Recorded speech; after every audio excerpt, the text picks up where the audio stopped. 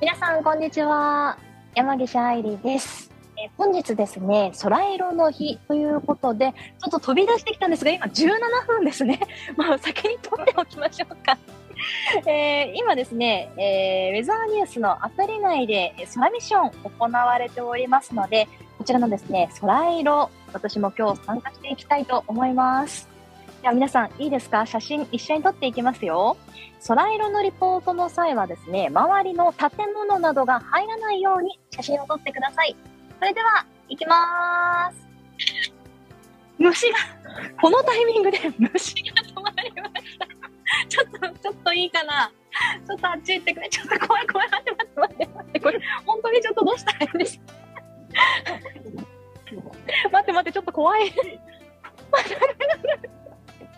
の、今、こんな、こんな感じで撮れたんですけど、ちょっと怖い怖い。ちょっと待って待って待って。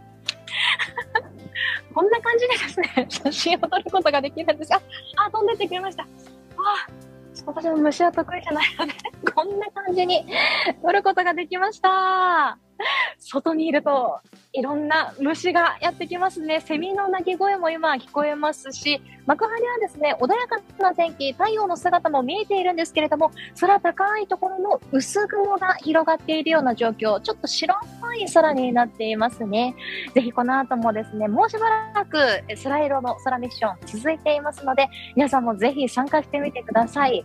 今ね、気温は高いですよ。27.6度となっているんですけれども、風が吹くと今日陰にいるので心地よく感じられます。ただ、日向では今もね、強い日差し感じられるかと思いますので、暑さ対策しっかりした上でリポートお楽しみください。では、空色中継お届けしていきました。スタジオにお返しします。